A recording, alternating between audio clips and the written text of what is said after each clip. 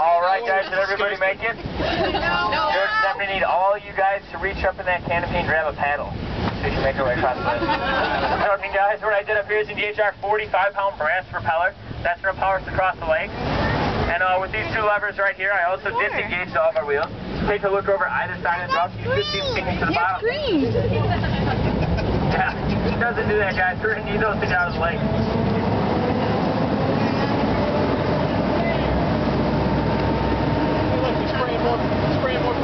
Guys, look over to our right. You should start seeing on the other shoreline a three-story brick building with a brown roof.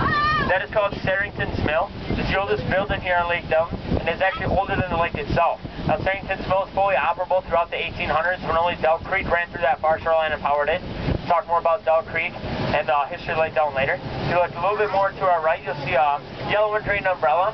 That, that marks the Tommy Bartlett Show here on the lake. Has anybody ever seen the Tommy Bartlett Show? Of you guys, if you haven't, I'd recommend seeing it. It's a great show, a lot of cool stunts. I used to be one of their top performers over there last year.